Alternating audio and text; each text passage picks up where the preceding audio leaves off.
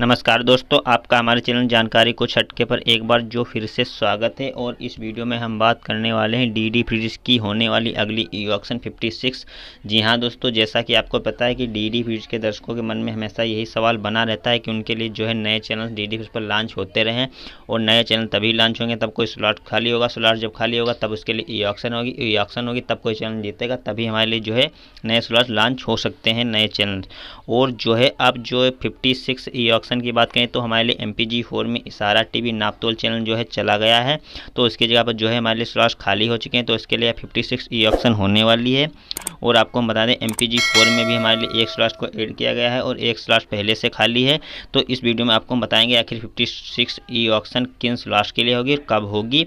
तो सारी बातें इस वीडियो में बताएँगे। बस वीडियो को आप लोग शुरू से लास्ट तक ज़रूर देखेगा तो वीडियो शुरू करने से पहले अगर आपको हमारी दी हुई जानकारी अच्छी लगी तो वीडियो को लाइक कर दीजिए, चैनल को भी सब्सक्राइब कर दीजिए और बेल आइकन भी दबा दीजिए ताकि हमारे वीडियोज़ की नोटिफिकेशन आप तक सबसे पहले पहुँचे और अपने दोस्तों के साथ शेयर भी कर दीजिए।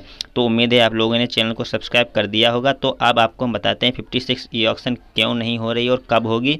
सारी बातें इस वीडियो में हम बताने वाले हैं। तो डी डी फ्री डिश की ओर से जो है स्लॉट्स खाली छोड़कर रखना। डी डी फ्रिज को खुद ही घाटा होता है, इसीलिए डी डी फ्रिज स्लॉट्स नहीं खाली छोड़ता है, कोई कारणवश ही छोड़ता है। तो आपको बताते हैं फिफ्टी सिक्स ई ऑक्शन जो है नवंबर महीने में होने वाली है, ये अक्टूबर में होने वाली थी, लेकिन जो है ये पोस्टपोन कर दी गई है।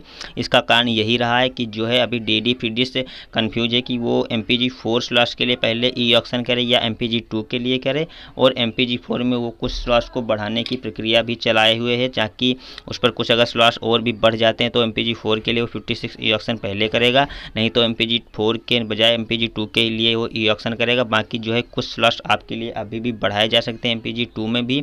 इस पर वो टेस्टिंग चल रही है। इसीलिए जो है, ई ऑक्शन को लेकर अभी प्रसार भारती कोई भी अनाउंसमेंट नहीं कर रहा है। और जैसे ही टेस्ट स्लॉट्स की प्रक्रिया जो है टेस्टिंग पे चल जाती है तो ऐसे लिए ई ऑक्शन हमारे लिए अनाउंस कर दी जाएगी। अगर दो स्लॉट्स के लिए ई ऑक्शन होगी तो हमारे लिए दो चैनल आ सकते हैं, कोई भी दो चैनल हो सकते हैं। बाकी आपका कोई भी सवाल हो कमेंट बॉक्स में ज़रूर पूछिएगा। जानकारी अच्छी लगी तो वीडियो को लाइक कर दीजिएगा। मिलते हैं किसी और वीडियो के साथ। तब तक के लिए धन्यवाद।